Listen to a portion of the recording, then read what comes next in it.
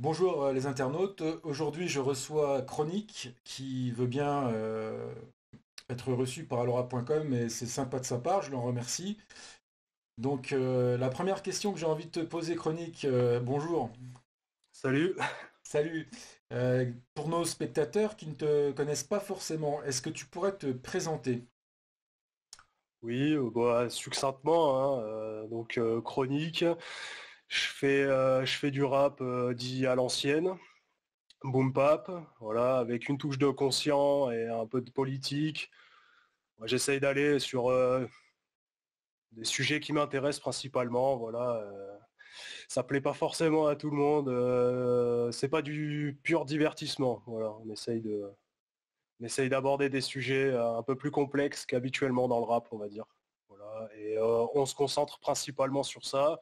Euh, on, fait, on a une activité un peu aussi de, beatmaking.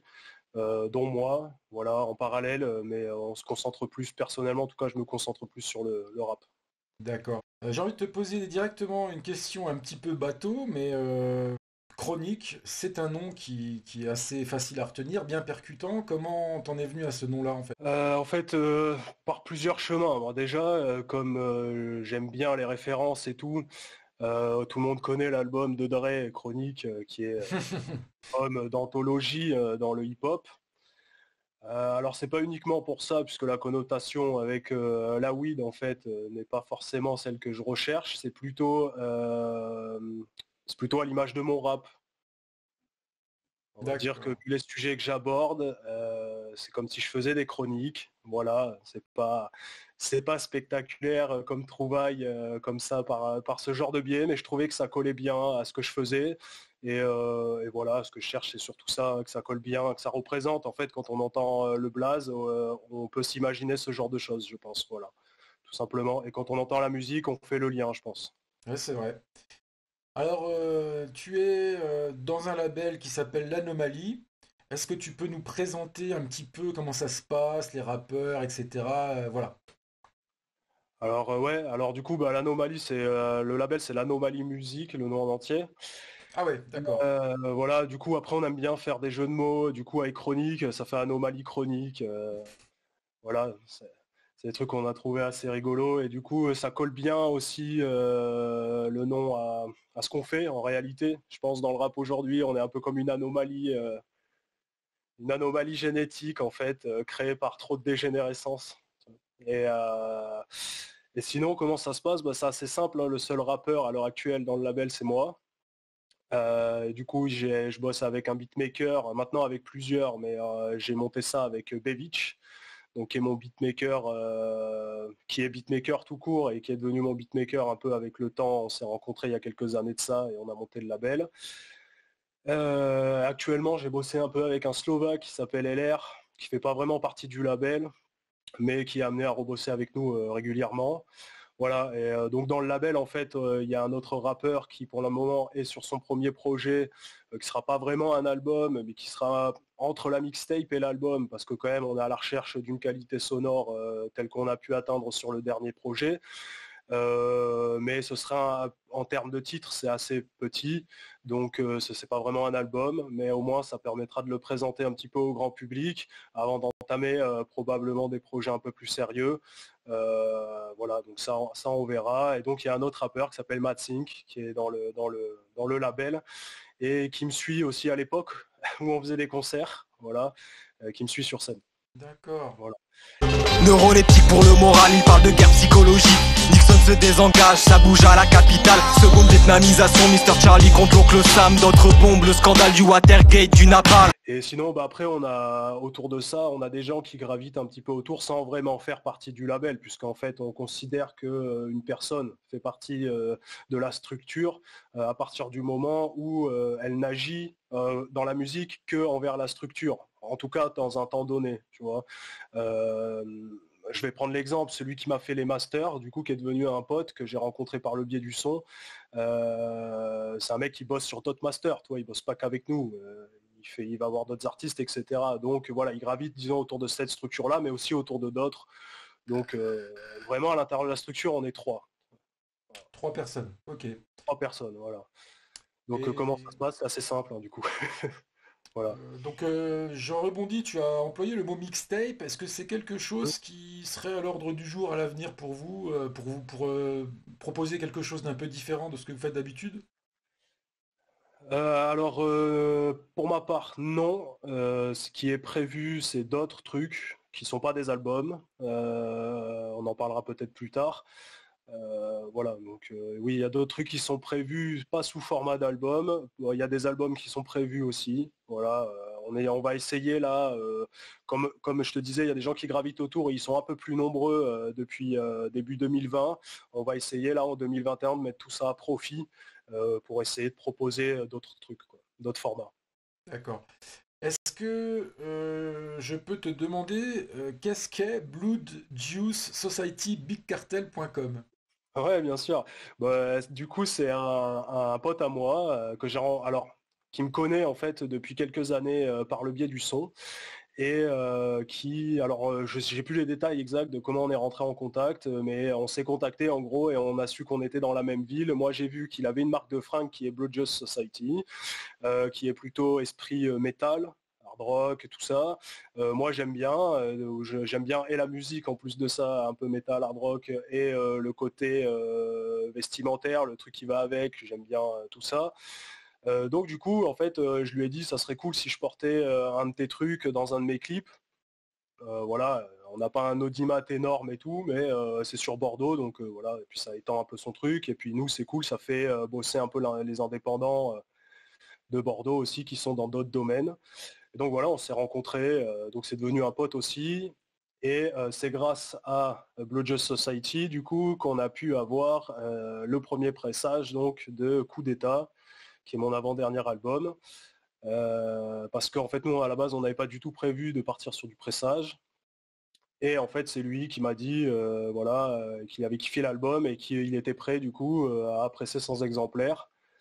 Euh, qu'il en garderait une partie, qui nous redonnerait le reste. Et en fait, euh, voilà, euh, donc je, profite du coup de la question pour le remercier énormément, puisque si on a pu sortir le deuxième album en version physique et aussi faire appel du coup à mon pote qui masterise, bah, c'est grâce à lui, puisque du coup on a pu vendre quelques albums de coup d'état en physique qui ont permis de réinjecter en fait le budget dans l'album suivant.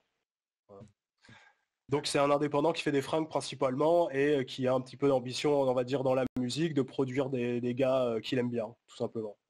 Donc euh, c'est une connexion intéressante, effectivement. Justement, j'ai envie de te poser quelles ont été les premières, toutes premières connexions que tu as eues avec l'hip-hop J'imagine que c'est en tant que fan de rap, tout simplement, au départ. Ouais, totalement. Puis de toute façon, c'est ma génération. D'accord. Je vais avoir 30 ans, donc en gros, dans les années 90, le meilleur disons, la crème euh, du hip-hop euh, old school euh, était là. même un petit peu avant, mais voilà, du coup j'ai grandi en fait avec ça tout simplement. Et mon premier album, du coup, c'était vraiment que j'avais eu en physique, puisqu'avant je faisais des cassettes enregistrées, Planet Rap, etc. c'était l'album d'Arsenic, quelques gouttes suffisent. Je m'en souviens parce que j'avais que la galette, j'avais pas le boîtier. Et donc pendant peut-être deux ans, j'ai écouté cet album en boucle sans savoir comment s'appelaient les mecs. Euh, et, du coup, j'étais assez jeune, je devais avoir euh, quelque chose comme 11 ans. Donc je comprenais pas non plus toutes les paroles. avant, en plus, il y avait beaucoup d'expressions qui étaient centrées à Paris un peu dans les banlieues de Paris et tout, et qui arrivait beaucoup plus tard chez nous. Maintenant, ça a un peu changé avec Internet. Mais euh, du coup, voilà, il y avait certaines expressions, etc., que je ne comprenais pas, mais voilà, il y avait certaines phrases qui me marquaient et que... C'est comme quand on écoute du rap, euh, du rap américain. T'écoutes du rap américain? Parce qu'on comprend pas tout forcément, mais... Ben, j'écoute principalement du rap américain aujourd'hui. Aujourd'hui, euh, j'écoute presque plus de rap français à part des vieux trucs, mais du coup, c'est des vieux trucs que j'ai saignés toute mon adolescence. Euh, donc euh, maintenant, j'ai je me suis un peu lassé forcément, hein, et puis il n'y a plus rien de nouveau de la part de ces groupes, ou euh, quelque chose de trop tendance à mon goût. donc j'écoute principalement du rap américain parce que eux, du coup, ont continué. Il y a beaucoup de groupes qui ont continué dans cette voie du hip-hop boom bap, old school, et qui essayent aussi d'y apporter des nouveautés. Je trouve ça intéressant. donc j'écoute pas mal de rap américain. Donc le rap américain à la source, euh, c'est peut-être ça aussi qui te donne ce côté euh, sans concession. On sent que tu es assez proche euh, de ce qu'est l'esprit hip-hop de ses débuts finalement. T'en es venu directement à ce genre de choses ou ça a été une recherche plus longue? Alors non, ça a été une recherche assez longue, dans le sens où quand tu commences à écrire, tu fais ça un peu instinctivement la première fois, les premières fois quoi, et tu parles de choses complètement bateau en réalité. Mais en fait, ça dépend de ta conscience de, disons, sociale, de classe, politique qui t'amène euh, vers euh, des sujets en fait quotidiens dans ton quotidien qui font qu'après ça se développe euh, dans ton art, quoi, quel que soit l'art que tu fais en gros. Mmh voilà, moi je viens d'une famille qui est assez politisée, etc. Donc j'ai souvent entendu parler de politique étant gamin. Et du coup c'est quelque chose auquel je suis sensible dès le départ. Et en réalité, sans m'en apercevoir, quelques années plus tard, en fait, je suis retombé sur des, vieux textes et je parlais déjà de choses un peu comme ça. Mmh. Comme je peux parler actuellement, bah, évidemment, voilà, il n'y a pas le.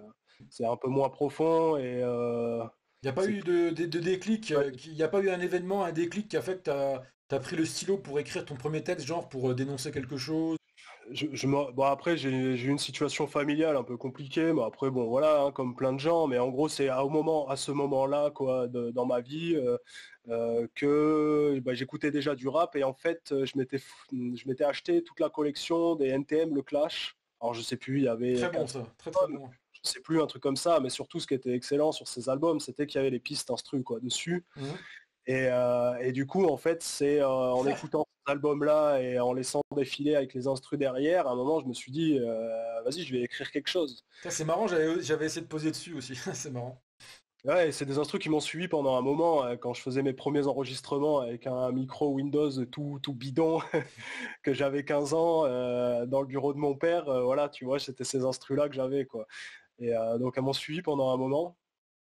Euh, et, voilà, c'est ça en fait. C'est, je, pense que c'est un, un combo de plusieurs choses, tu vois, qui m'ont emmené, euh, qui m'ont emmené à faire ça. Euh, et, puis voilà, ça a commencé comme ça, tu vois. Ça a commencé comme ça. Et puis là, aujourd'hui, ben, si on regarde l'évolution que tu as eue jusqu'à maintenant, on constate quand même que tu fais partie des rappeurs désabusés et euh, est-ce qu'on pourrait t'identifier à cela Alors je, non, non, je pense pas. En tout cas, euh, mon cercle social dirait peut-être pas ça de moi. Euh, est-ce que moi, personnellement, je me sens désabusé? À l'heure actuelle, il n'y a plus grand-chose qui m'étonne. Alors oui, effectivement, c'est peut-être... La maturité, on va dire. C'est la maturité. Voilà, c'est peut-être un combo des deux. En fait, il y a tellement de, choses qui sont prévisibles que tu n'es plus étonné de les voir arriver. Quoi. Mais après, la musique, je comprends que dans, mon, dans ma musique, ça puisse se ressentir euh, comme ça. Euh, après, ma musique, c'est un moyen d'expression. Et c'est vrai que je ressens plus le besoin d'exprimer des choses qui me dérangent euh, que des choses qui me procurent du plaisir ou, ou, des émotions, on va dire, positives.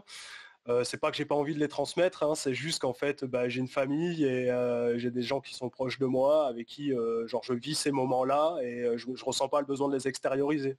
C'est pour ça que dans mon rap, je parle surtout de choses plus négatives parce que c'est des choses avec qui tu ne peux pas en parler à tout le monde. Il y a des jours, enfin voilà, je travaille aussi dans le monde du travail, tu es obligé de faire un peu semblant aussi, tu peux pas t'exprimer comme tu veux à tout bout de champ.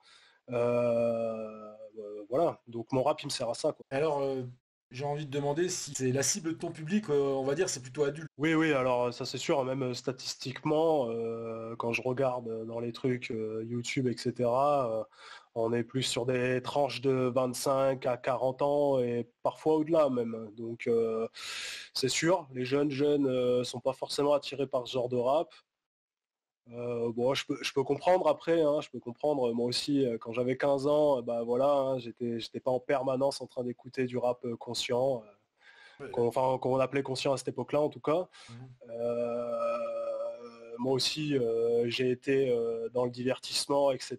Quand j'étais jeune, je pense, on, passe tous par là, vu la société dans laquelle on vit. En réalité, on n'a pas vraiment le choix si on va avoir une vie sociale de, de, passer par ces, ces choses-là que propose le système, souvent assez futile, quoi. Mais, euh, mais non, après, euh, je pense que mon discours, par contre, peut être entendu par des plus jeunes. Oui, finalement, euh, c'est ce que je les bancs de la fac, j'ai rencontré des mecs de 17 piges bon, qui étaient un peu en avance du coup, puisqu'ils étaient à la fac, mais en gros, c'est des, des, mecs avec qui j'avais des discussions tout à fait normal et on se comprend, on se comprend très bien quoi. Ils sont pas du, c'est pas l'âge, c'est pas vraiment l'âge, tu vois. Je pense pas. Je pense que ça peut être entendu, mais voilà, ça les intéresse moins. Ça les intéresse pas. D'accord. Alors, on va maintenant un peu parler du dernier album sorti en MP3 et CD, comme tu le disais, qui s'appelle Le jour d'après. Bon, j'ai envie de dire encore un projet de qualité professionnelle, ça c'est clair. Euh, j'ai envie de te demander, est-ce que c'est un aboutissement pour toi, quelque part? Euh, non, je dirais que c'est plus le commencement, en réalité. Hmm. Euh, en fait, après, ça, c'est des choses qu'on perçoit pas forcément. Après, à l'écoute, on, le peut, on peut le percevoir d'album en album. Il y a quand même un saut qualitatif euh, en termes de mixage, etc. Alors c'est vrai qu'on est totalement autodidacte sur ces sujets-là et qu'on n'a pas forcément attendu d'être euh, vraiment au, niveau où on est aujourd'hui, en tout cas, pour commencer à sortir des trucs. Euh, on, a, on s'est dit que voilà, le message était quand même important et que c'est aussi important de se faire plaisir et donc on l'a fait comme ça. avec le temps, du coup, voilà, on s'intéresse plus à la technique et à la méthodologie euh, du mixage. On est complètement autodidacte, comme je te dis, mais euh, voilà, on a, eu, on a la chance du coup de rencontrer des gens euh, qui nous filent des bons coups de main, qui prennent le temps avec nous pour voilà, améliorer nos morceaux. Donc voilà, c'est pas un aboutissement, du coup, c'est plus un commencement parce que du coup, ça, de, de prendre en compétence, ça donne envie de continuer, d'aller plus loin en fait. Ça valide un petit peu justement le fait que tu es au bon endroit et que tu es dans la bonne direction ben, disons, disons qu'en tout cas, ça, ça, te, ça, te, ça te motive à toi. Tu te dis, euh, ah ben, j'arrive de mieux en mieux à faire ce que je veux, à ce que j'ai dans la tête. Et euh, donc, ça donne envie de continuer. Tu n'as pas envie de t'arrêter. Euh, ça. Et puis, en plus de ça, disons que bah, vu, vu la situation actuelle, je ne peux que avoir envie d'extérioriser les, choses. Quoi. Donc, c'est pas... c'est pas un aboutissement. C'est euh, vraiment euh, le, second commencement, on va dire. Après la, après la, partie échauffement. D'accord. on rentre dans le dur. Et donc cette œuvre-là, s'est fait en collaboration. Euh, et donc, est-ce qu'il y a vraiment eu un de tes collaborateurs dont tu ne pourrais pas te passer, qui, serait vraiment décisif pour la réussite de ce projet Bah en fait si tu veux, tout le monde, euh, tous les. Alors là, on a plus affaire à des gens. Alors Beach évidemment participe à tous les projets. Mhm. Euh, de près ou de loin hein, en, réalité parce que même là lui il n'a pas produit euh, de morceaux d'instru mais voilà je fais toujours appel à lui pour une oreille extérieure pour avoir un avis on, discute ensemble des idées euh, qu'on peut avoir. Quoi. Euh, euh, parfois, je fais ça de manière unilatérale, mais souvent, j'aime bien en discuter avec lui parce que du coup, on échange et ça fait monter d'autres idées. Quoi. voilà, j'ai bossé ben, avec Mad qui est présent du coup aussi sur l'album. Mhm. Donc lui a bossé un petit peu et ils m'ont aidé à faire, enfin tous les deux en fait m'ont aidé à faire les prises voix déjà. Donc c'est quelque chose qui prend quand même du temps.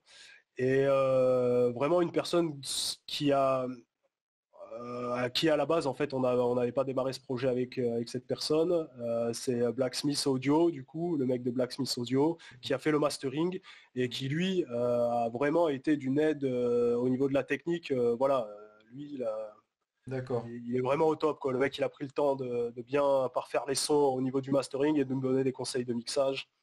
Et évidemment, j'aurais pas pu me passer de LR qui a fait toutes les prods de cet album. Euh, qui m'a proposé spontanément en fait de faire un album avec lui. On avait bossé ensemble sur le premier projet, euh, Coup d'État, mmh. et euh, on avait fait juste un morceau ensemble. Et puis là, en fait, période de confinement quasi mondial, il vient me parler sur Instagram en me disant voilà, en fait, moi j'aimerais bien faire un album avec toi et ce serait peut-être le moment idéal. on a tous les deux du temps, et, donc j'ai dit bah, vas-y, on y va. Et donc on a fait ça pendant la période de confinement. Quoi. Un big up Lui, euh, et lui, en fait, dès que j'ai dit oui, il m'a envoyé 15, euh, 15 ou 20 instrus direct. Ce mec. Donc euh, voilà. il est chaud, il est chaud et bon bah big up, big up donc c'est cool. Alors, qu'est-ce qu'on peut demander d'autre dans la suite de, de, cet album? Ah bah, évidemment, le premier extrait de cet album s'intitule Le crépuscule, le crépuscule pardon, des idoles. Bon, c'est un clip avec une mise en abîme de l'espace médiatique, donc c'est un sujet assez récurrent euh, dans tes albums. Donc c'est un morceau qui fait du bien par où ça passe, hein, personnellement. Et je pense aussi pour toi, tu t'es bien défoulé, j'ai l'impression. Est-ce que tu en as encore sous le pied pour, pour rebalancer des, des tels missiles? Ouais, alors, en fait, en réalité, c'est le second extrait qui est un clip un ah. petit peu fait maison en période un petit peu difficile pour que chacun puisse se déplacer. Donc on a fait ça un peu à la maison. le premier extrait en fait c'est 666. D'accord. avec Action voilà, qui est sorti euh, genre un mois avant l'album, quelque chose comme ça. Et euh, donc oui, pour parler du crépuscule des idoles, euh, ben, comme en fait c'est la même critique pour les deux au final, enfin c'est la même réflexion pour les deux, je dirais que ça défoule, euh, oui, ouais, bah, c'est certainement sur certaines punchlines, euh, quand tu les enregistres, etc. Euh, voilà. Moi personnellement, j'ai trouvé ça très jouissif, personnellement. Voilà, tu, sens bien l'effet ironique, etc. Donc ouais, ça, fait du bien. après, c'est quelque chose. disons que ça, c'est plus un morceau. c'est pour prêcher les convaincus, ce genre de morceau. Tu vois, c'est pas vraiment un morceau qui va forcément te pousser à aller plus loin dans la réflexion euh, ou te faire découvrir quelque chose euh, ou chercher à te choquer comme 666 par exemple pour euh, que tu t'intéresses au sujet. Soit c'est les mêmes qui ont construit ta matrice. Hollywood a bien d'éteint, ça choque personne de voir des riches dans l'esprit cooking de Marina Abramovic. La maison des horreurs de Tony Podesta, c'est de faire une erreur de croire ces gens comme toi et moi. Je te parle pas des vies métal, mais bien. Sioniste à défendre le landais Je te garantis qu'en creusant, c'est pire qu'Egg Shut pour les disciples de Moloch. J'ai du plomb comme antidote. T'auras jamais assez d'un exorciste. Nos élites sont remplies de pédosatanistes. Si je te donnais quelques noms, tu n'aimerais pas ma liste. T'es peut-être fan de l'un d'entre eux, vu que ça se banalise. T'auras jamais assez d'un exorciste. Nos élites sont remplies de pédosatanistes. Si je te donnais quelques noms, tu n'aimerais pas ma liste. T'es peut-être fan de l'un d'entre eux, vu que ça se banalise. Euh, disons que oui, c'est un morceau. Euh, euh, c'est un morceau que je referai. Enfin, pas, pas pareil. Mais évidemment, pourquoi? Parce que de toute façon, il y a toujours matière, vu que les mecs, ils t'en sortent une chacun par jour. Donc, si tu veux, c'est le genre de morceau pour trouver quoi dire, il n'y a qu'à se pencher pour ramasser.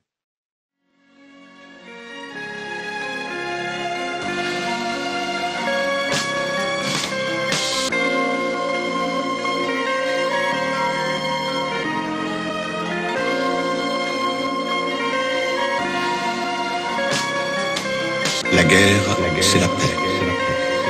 La liberté, c'est l'esclavage. L'ignorance, c'est la force.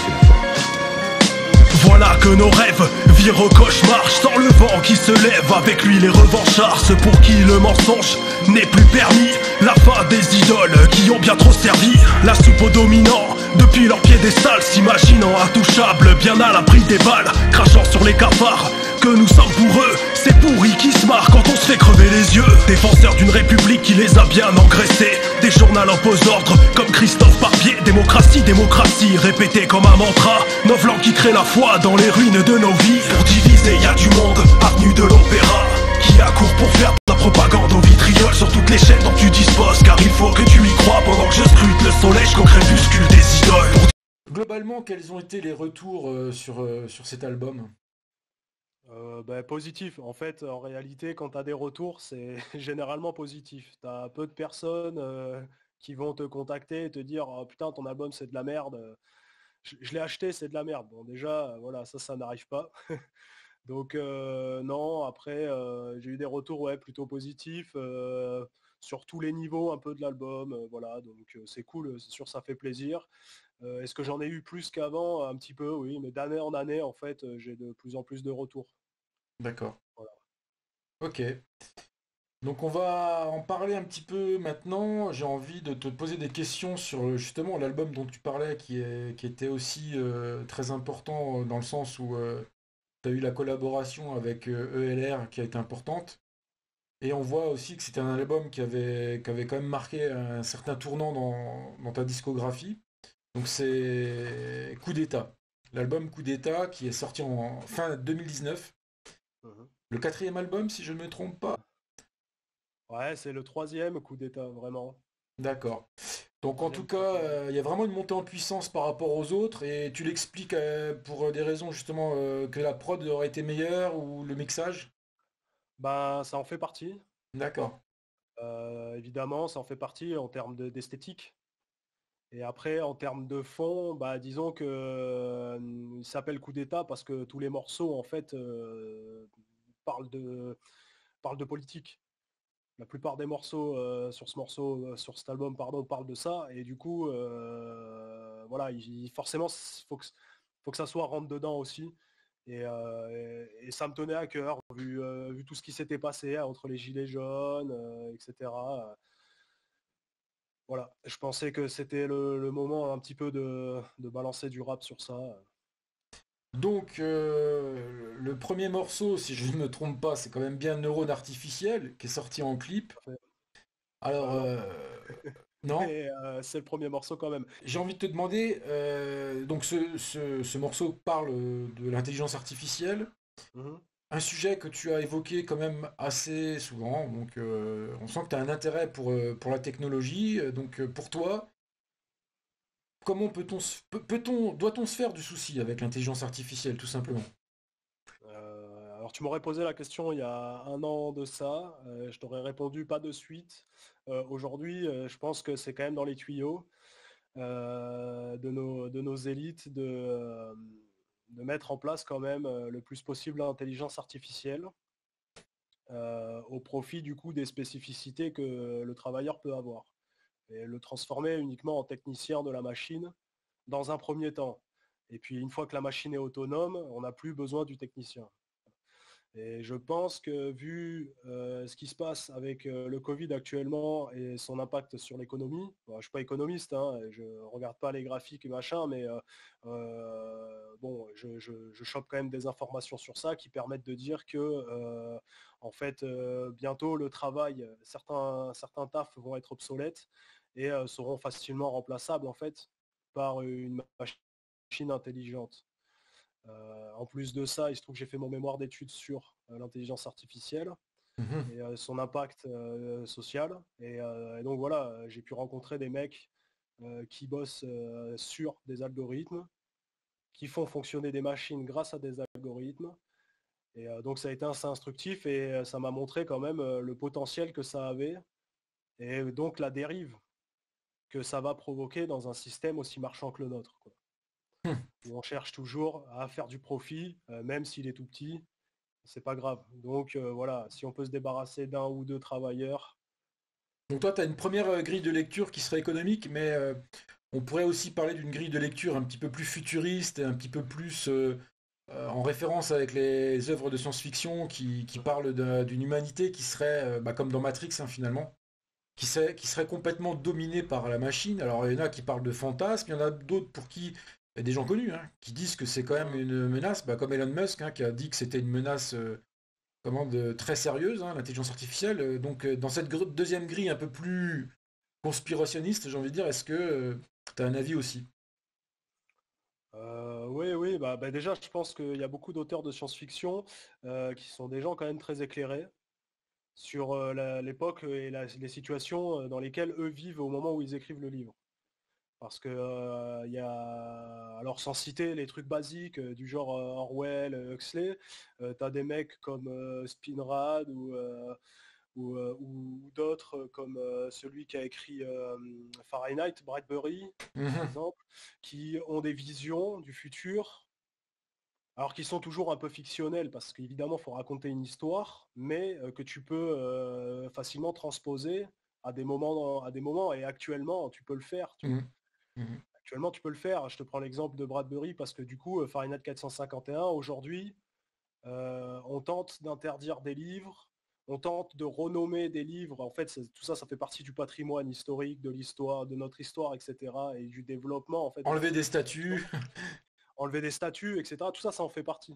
D'accord. Ça, peut, tu peux faire une analogie avec euh, Fahrenheit 450, 451 où ils brûlent les livres en fait pour que les gens en fait n'apprennent pas en réalité, qu'il n'y ait pas de traces du passé. Et on assiste un peu à ça sous différentes formes. D'accord. Donc je pense que c'est des mecs très éclairés, voilà. Et du coup, euh, effectivement, euh, ils ont peut-être pas tort. Mais après, euh, voilà, dire avec certitude, oui, demain. Ouais, voilà, les certitudes, non. Mais la singularité, voilà. Il sera dominé par des robots, je pense pas. Est-ce qu'on risque d'être remplacé à beaucoup de postes subsidiaires, surtout par des mm. robots? Ça oui. Ça oui, et du coup ça tirera le reste des compétences à la baisse du coup forcément. Puisque tout donc, le monde deviendra ingénieur ou machin, ça fera descendre la qualité en fait euh, du diplôme d'ingénieur. Donc revenu universel pour ceux qui n'ont pas de taf, voilà. Voilà, donc euh, chaîne au pied, mmh. Euh, mmh. qui est le revenu universel pour ceux qui n'ont pas de taf, et pour essayer de les garder tranquilles. En fait. Ils vont donc consommer, payer leurs factures, bah, tant bien que mal, puisque de toute façon tous les prix continuent d'augmenter, mais évidemment le revenu universel sera assez bas et probablement regroupera toutes les aides déjà existantes. Euh, et puis à la moindre, euh, si par exemple toi tu es en désaccord avec telle ou telle idée, on peut te le sucrer, c'est ça le problème aussi. C'est que ça peut devenir une grosse moyen de pression quoi. C'est sûr, après euh, franchement, l'administration c'est quand même un beau bordel. Mmh heureusement, heureusement pour nous. Bah, ouais, ouais, c'est sûr que des fois, ça, nous, ça peut nous rendre service. Bon, t'as des gens qui vivent à l'étranger en touchant le RSA en France, ils se font C'est dingue, c'est dingue. Franchement, il y a des trucs qui sont incompréhensibles dans ce, dans ce bordel. Donc, je pense qu'avec le revenu universel, ça sera un peu pareil. Et puis, de toute façon, euh, l'intérêt, c'est pas que les gens ils se retrouvent avec peanuts parce que euh, un, père de famille, une mère de famille qui se retrouve sans rien euh, peut facilement péter les plombs. Et évidemment, leur but, c'est pas euh, qui est une masse de gens qui pètent les plombs. Qu'il y en ait un, deux, ils s'en foutent. Ça crée un peu en plus euh, des événements euh, médiatiques. Mais eux, ce qu'ils veulent pas, c'est que la masse se mette en colère. Que tous les gens qui perdent leur taf, voilà, je sais pas si tu as 200 000 personnes d'un coup au chômage et qui pètent les plombs, et eh ben ça risque de chauffer en France. quoi. Ah mais sinon ils ont l'option de les, éteindre. Hein. de les tuer, il n'y a plus le choix quoi. Ouais, ils peuvent, ils peuvent le faire, mais franchement, tu vois, tuer 200 000 personnes, euh, on n'est pas. Bah, ou les envoyer, je sais pas où, dans un, dans un centre Covid, les envoyer dans un centre Covid. Bah, tu peux faire ça, mais de manière individuelle, mais c'est difficile de le faire, euh, tu vois, on n'est pas dans un pays euh, genre qui vit en autarcie. Mmh le reste du monde peut voir ce qu'on fait, etc. C'est vrai compliqué de, faire des trucs comme ça. heureusement, heureusement, on a encore euh, une petite protection. Voilà, je suis content que tu me dises ça, ça me rassure. Oui, oui sûr, tu consultes les journaux étrangers, euh, tu apprends des trucs que toi-même tu sais pas dans les journaux français. Parce que là, tu es assez rassuriste, j'ai envie de te dire. Par contre, le premier clip sorti de cet album qui s'intitulait La nuit a dévoré le monde, donc produit par toi, quand même, donc assez bien fait. Franchement, très bon clip. J'étais assez surpris de la qualité du clip. Et Peux-tu nous dire un peu le budget qu'il y avait pour le clip ou c'est secret oh Non, le budget c'est zéro. Ah bah voilà, justement. Le budget, euh, le budget c'est, euh, c'est, faut se démerder à trouver, euh, faut réfléchir à une idée, se démerder à trouver le matériel, si nécessaire acheter quelques accessoires. si tu veux, le budget c'est 50 balles. Voilà, Teddy Boy RSA, il, avait, il avait kiffé ce clip-là, il avait même fait passer dans son émission. Mhm. Alors pour un clip sans, sans budget, je suis assez surpris quoi. Je suis assez surpris, j'étais surpris. Bah, t'as pas forcément besoin de budget sur ce clip-là. On a un gars euh, qui, euh, en ce moment, peut pas participer. Il a quelques soucis, mais en gros, euh, le mec qui est photographe, enfin, c'est pas son métier, mais il lui, est, arrivé de faire des prestations de photographie payante, etc. Donc, on va dire semi-professionnel, qui a une vision. Voilà, ah oui, il y a quand même une patte qui n'était pas la tienne finalement derrière. Voilà, c'est ça. Il a une vision de. Moi, je lui dis voilà ce que je voudrais. Mmh et lui, euh, il essaye de le retranscrire euh, derrière un objectif, quoi. Ce qui est différent que de juste le visualiser. Voilà. Et du coup, euh, lui a cette vision-là. donc voilà, il a participé là, il reparticipera sûrement dans le futur à des projets avec nous. D'accord. Et oui, il y a un petit. on essaye d'avoir des gens qui ont quelques compétences, puisqu'on n'a pas de budget financier. Euh, on essaie d'avoir des gens qui ont quelques compétences et qui sont prêts à donner un coup de main euh, pour euh, avoir quelque chose de qualité. voilà. bah ça, répond à la question que je voulais te poser finalement donc sur le processus d'écriture de cette chanson. tu, avais déjà en tête qu'il y aurait un clip quand tu l'as écrit ou ça t'est venu après l'idée de faire un clip? Il me semble que c'est là, une fois que je l'ai eu écrit, je me suis dit que certainement ça serait un clip. D'accord. Voilà, parce que j'ai senti de suite le potentiel euh, du son. D'accord. voilà, hein, on va pas se mentir non plus. Hein, on sort ce qu'on fait en clip, c'est aussi des sons qu'on considère comme étant des sons pouvant aller toucher un public qu'on n'a pas. bon, c'est avant tout un, son qu'on estime comme étant un des meilleurs de l'album, un des trois meilleurs de l'album, toujours. mais c'est aussi, voilà, on se dit, avec ce morceau-là, on va faire un peu de provocation aussi. voilà, il n'y a pas de secret non plus pour attirer un peu de gens. Il faut piquer la curiosité. On est tous Je suis tout à fait d'accord avec toi parce que quand tu dis la catastrophe sera mondiale, on ne peut pas stopper l'inévitable. déjà, bah, c'est assez sombre. donc, par contre, le, public a bien kiffé. Il y a eu des likes, il y a eu des vues, tout ça. Donc, finalement, les gens sont assez demandeurs de catastrophisme. Euh, et, ce qui est le plus dingue, c'est que trois mois plus tard, la dictature, euh, la dictature mondiale se met en place, euh, donc la, dictature sanitaire, bien sûr. Alors, qui t'avait prévenu de tout ça? T'es dans le complot? Vas-y, dis-le. Non, non, non, je suis pas dans le complot. juste, ça me fait penser à un son que j'ai fait dans un album que j'aime beaucoup même si malheureusement la qualité audio aurait pu être meilleure si on l'avait fait aujourd'hui, c'est le 9 cercle. C'est l'album qui est juste avant Coup d'État et qui est en fait qui est différent parce qu'il est totalement thématique. Ça tourne autour de l'enfer de Dante, etc. Et, en fait, dans cet album-là, j'ai fait un morceau qui s'appelle Article 35. Mmh et c'est un morceau où j'expliquais que les Français, en gros, les gens de ce pays étaient en colère et que ça, allait, ça allait partir en couille. Et il se trouve qu'en fait, six mois plus tard, il y a eu les Gilets jaunes. Mmh. C'est un, voilà, un morceau que j'ai écrit sans savoir évidemment que six mois plus tard, il y aurait les Gilets jaunes, mais je pense que... T'es un prophète, t'es un prophète, c'est tout. C'est plus, on va dire, une sensibilité. voilà, on va pas être vaniteux ou quoi, c'est juste. j'ai une, sensibilité de, ce qui se passe un peu autour de moi, de ce que j'entends, de, ce que je lis, des, informations que, je lis aussi. voilà, le rap, ça demande d'avoir un peu un esprit synthétique pour pouvoir faire quelque chose d'esthétique, mais en même temps en ayant du fond. Et voilà souvent après on se marre en disant je suis le Nostradamus du rap. mais, mais voilà, mais je pense pas, je pense pas. Je pense qu'en fait, ce que je dis dans le rap, l'analyse que je donne dans le rap, il y a plein de gens qui la font au quotidien. En réalité. C'est juste que moi je prends un micro et que je le pose sur une instru.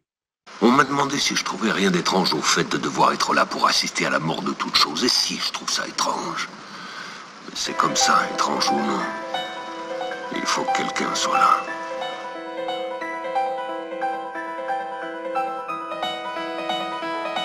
C'est le vent du cataclysme, puis vient la pénombre et l'angoisse Le son des égaux que je froisse, lestés par leur prisme. À l'heure du crépuscule sorti les prouesses de l'homme Des promesses de l'ombre jusqu'à la science qui nous transforme. L'absence de lumière nous rend aveugles Mais sa présence aussi et j'oscille entre colère et barbarie L'atmosphère brûlante des cultures qui s'entrechoquent Et nos destins qui se ligotent au mondialisme de Moloch. C'est chacun pour sa gueule et l'on se condamne à l'errance. Quand nos avertissements percutent le mur du silence. La division est à l'œuvre alors on crève, on prime sans trêve. Aux sortes des tentacules de la pieuvre Comme une fièvre hémorragique agit cette république Infestée de parasites qui eux n'ont rien de pacifique. Y a pas d'argent magique à part celui des banques. Et le futur se trouve dans les mains de quelques branques Bientôt retentira le chant des armes dans un sifflement perçant le vacarme incessant, on les paiera de nos sangs Leur évolution de l'âge dans la base de Soros. Que de bonnes intentions pour nous dépouiller jusqu'à l'os. Entre leurs doigts, le soleil s'est éteint Ils prostituent le peuple et nous traitent comme des chiens. Ton seul droit c'est de consommer Et je crois pas que t'en aies d'autres. On continue de se faire tringler puisqu'on les supporte. Rien ne sert de courir sur les sentiers de la perdition Et on aura tout fait des guerres de race en religion La mort qui se vend sous de beaux emballages On peut même acheter des ventres ou un gosse en bas âge. Et mec c'est le cauchemar, le début de la nuit sans fin. Dans les ténèbres du soir j'aperçois ce qui s'en vient Leur monstre de Frankenstein, leur milice armée. On a perdu la bataille avant de la commencer. Autour de nos névroses la propagande s'articule. Y'a ceux qui tirent les ficelles et ceux qui gesticulent. La vérité me démange quand le mensonge nous rassure. L'anomalie c'est du mercure car les connards ont la peau dure aux lueurs de l'homme apparaîtra le No Man's Land Il n'y aura plus que des zombies pour faire la queue chez Disneyland. Mais je me demande si c'est pas déjà le cas. Je dis ça quand je vois que tu crois qu'avec un vote on t'entendra. Bientôt retentira le chant des armes dans un sifflement perçant. Le vacarme incessant, on les paiera de nos sangs. Leur évolution de l'âge dans la base de Soros. Que de bonnes intentions pour nous dépouiller jusqu'à l'os. Entre leurs doigts, le soleil s'est éteint. Ils prostituent le peuple et nous traitent comme des chiens. Ton seul droit c'est de consommer. Et je crois pas que t'en aies d'autres. On continue de se faire tringler puisqu'on les supporte. Les campagnes sont en friche pendant que les villes suffoquent. On me parle que de chiffres et de changer l'Europe. Mais je suis pas masochiste, vouant un culte à mes bourreaux Comme des mecs de 68 cachés derrière leur bureau.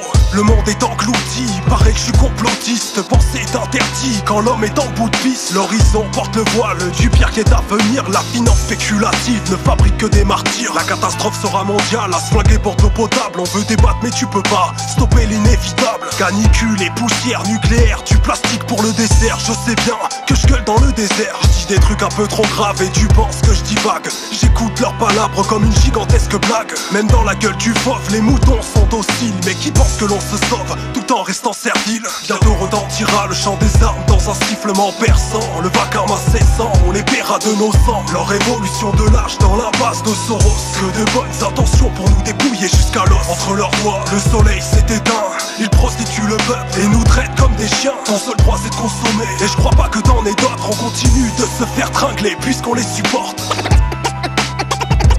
The snake charmer, equal opportunity hate monger.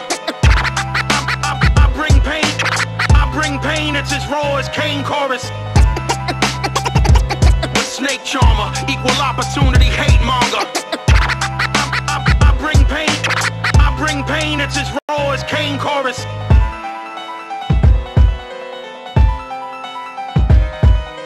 Le monde est englouti, paraît que je suis complotiste Penser est interdit quand l'homme est en bout de piste